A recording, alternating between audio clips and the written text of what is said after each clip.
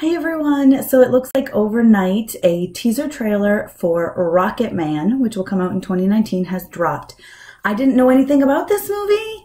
Apparently it's a movie about Sir Elton John. Um, we're getting the Bohemian Rhapsody movie, so this almost feels... I don't know. I'm not sure how I feel about it. Let's put it that way. I'm wondering if they're trying to piggyback off of um, Bohemian Rhapsody and Freddie Mercury, but uh, I guess we will just see uh, what this is about. It is a teaser trailer. I do like Elton John, so Sir Elton John. So uh, let's check this teaser trailer out. I'm Tessa with mamasgeeky.com.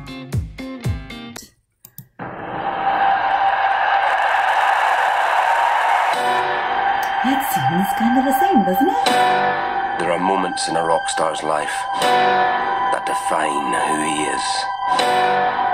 Where there was darkness, there is now you.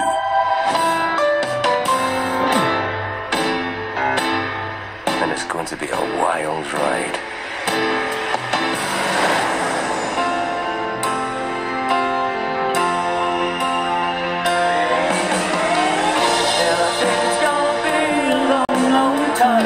Touchdown brings me round again to find I'm not the man they think I I to figure out who this actor is. Oh, that's cool. Oh, I can.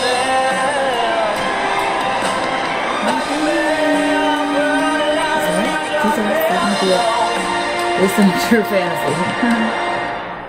yeah. Okay. All right. I'm gonna look who up who that is. He looks super familiar. Uh, Taron Egerton.